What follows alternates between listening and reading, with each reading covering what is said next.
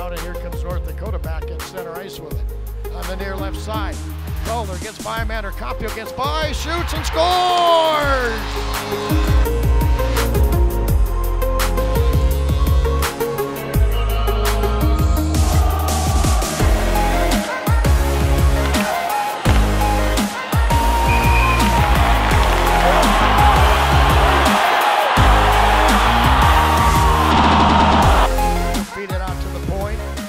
And a goal by Frisch. Back up top for Jandric. Down to Gaber. Gaber shoots, scores!